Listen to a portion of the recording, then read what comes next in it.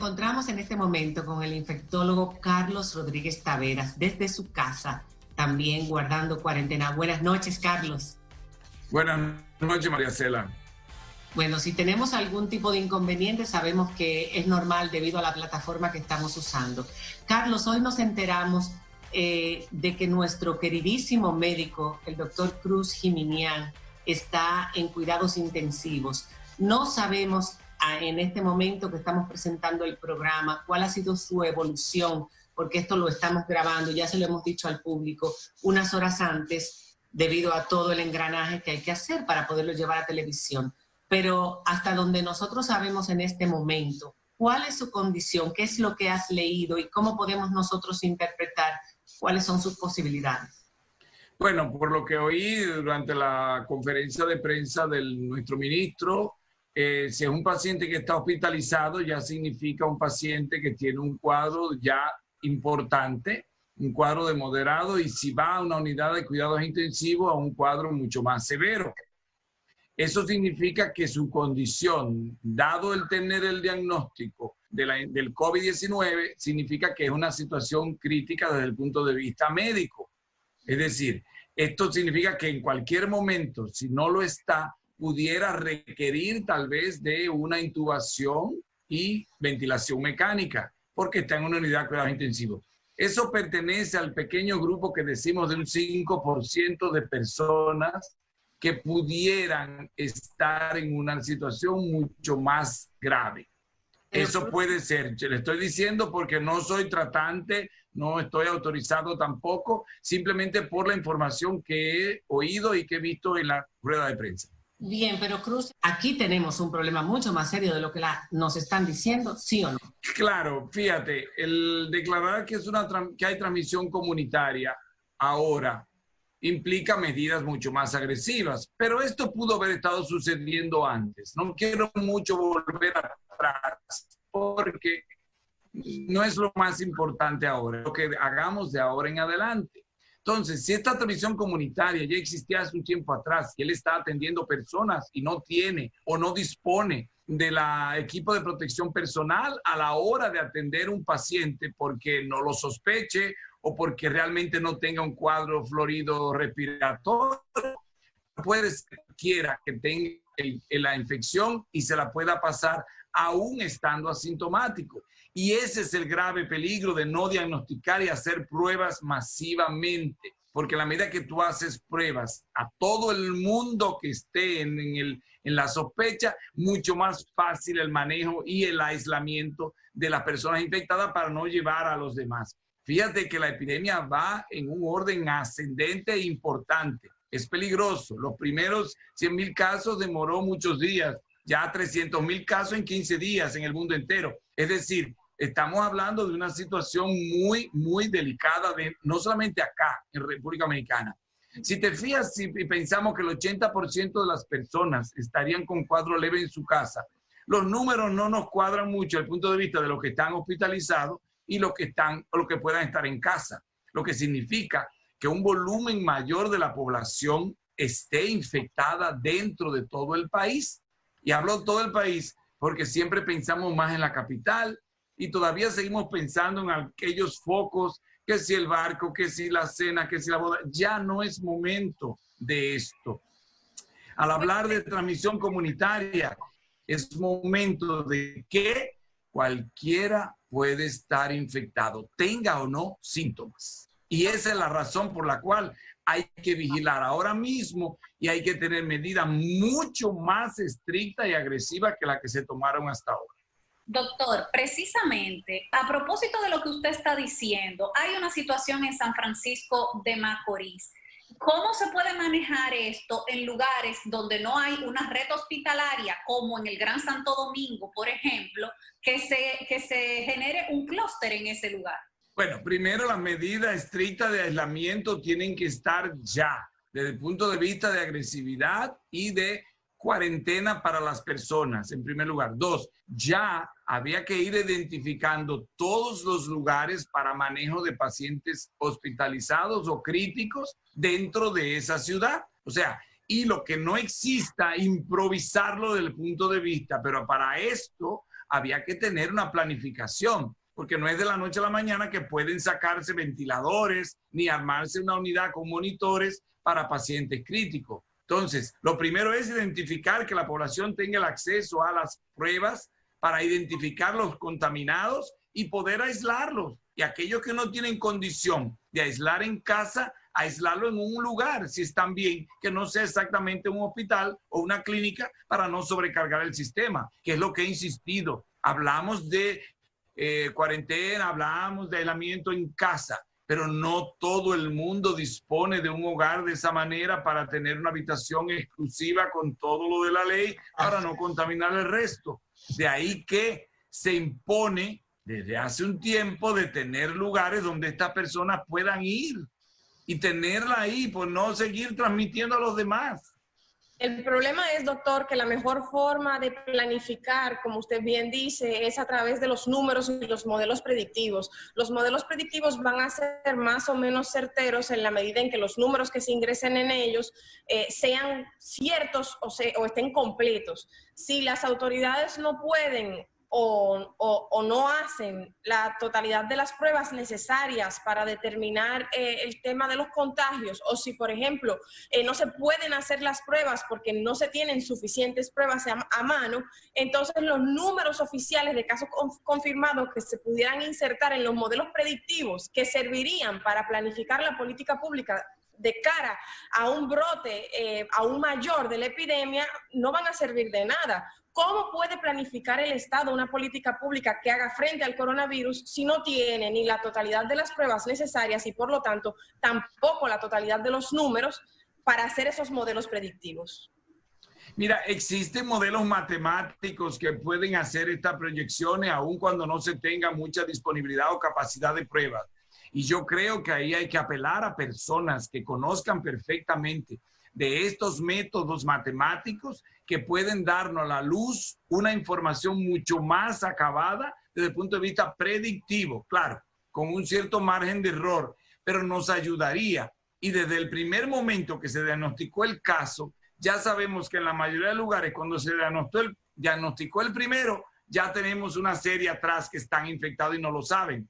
Entonces, tomándose en cuenta esos modelos matemáticos que lo manejan muy bien los estadísticas, las personas de estadística, los epidemiólogos realmente hospitalarios y que saben de esta situación, pues pueden tener una proyección y poder tratar trazar estrategias que vayan acorde con estos números, porque no es casualidad, en todos los lugares la curva es exponencial.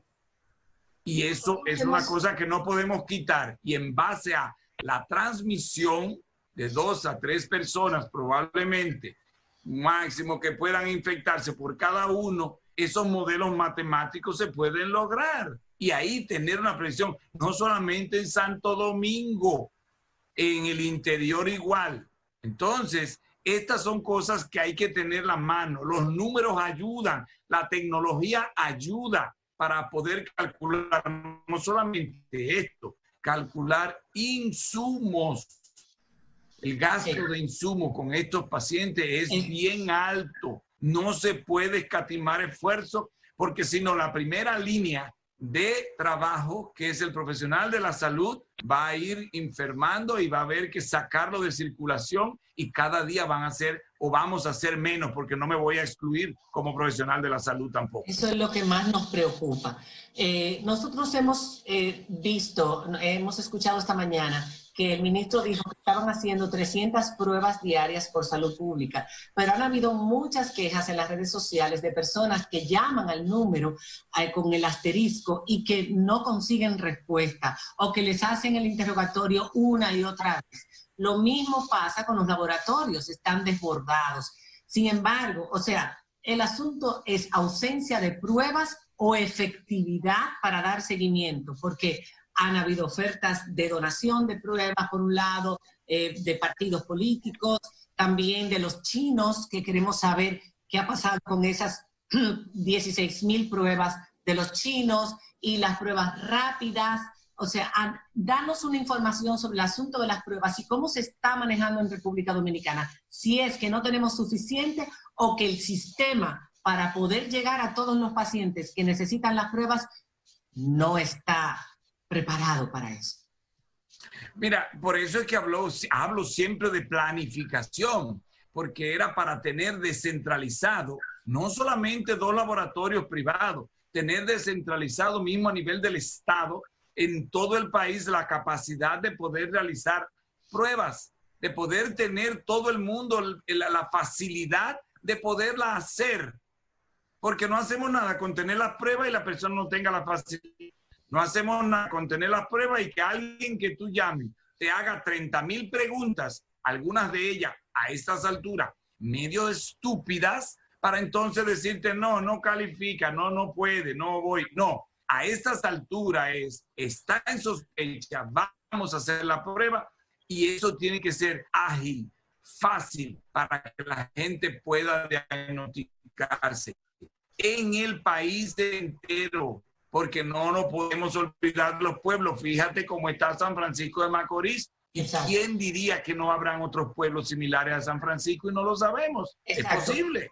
Pero en la, la prueba de los chinos, por ejemplo, tú me explicaste por teléfono algo, porque yo recibí una queja de uno de los médicos que decían, pero si hay 16 mil de la China, hay un protocolo de Berlín, nosotros no entendemos estos temas, lo que queremos es pruebas. El asunto de las pruebas es que para tener un diagnóstico precoz con una capacidad predictiva importante, un valor importante desde el punto de vista de diagnóstico, tenemos que usar todavía las pruebas que tienen que, la técnica de la reacción en cadena de polimerasa en tiempo real, el real time PCR.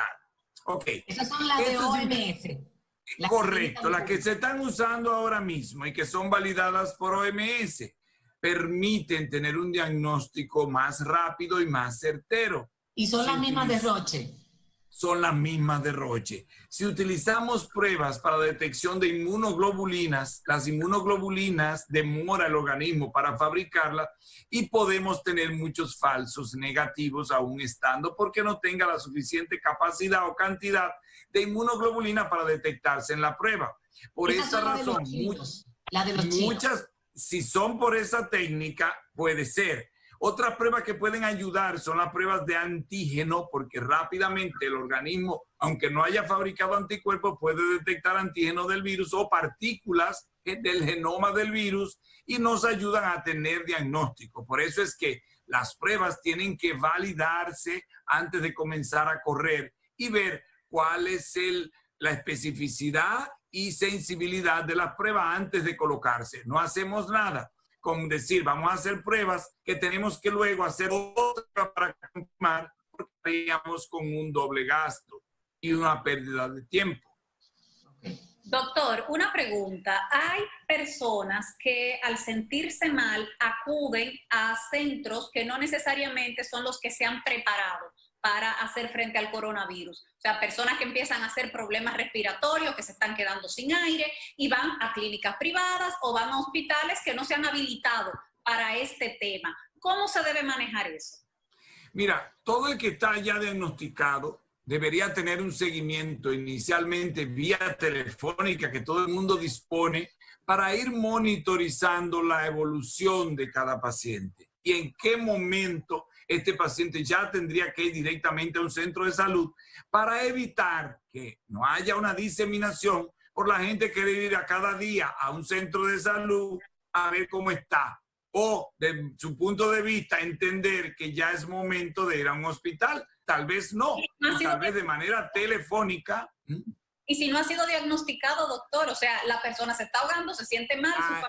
lo llevan al hospital o a la clínica, pero no tiene un diagnóstico.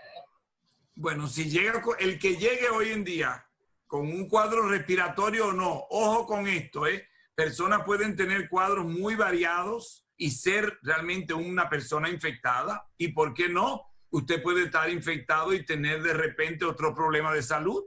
Usted puede estar descompensándose de su diabetes y usted tener ya el virus, por ejemplo. No importa. Paciente que llegue a procurar un servicio de salud tiene que ser manejado con las mismas medidas y equipo de protección, porque ya tenemos diseminación comunitaria. Entonces, es por esta razón que tener las pruebas y las personas diagnosticadas facilita, facilita mucho más el que se puedan hacer las cosas. Ahora sí te estamos viendo bien y escuchando mejor. Carolina, adelante.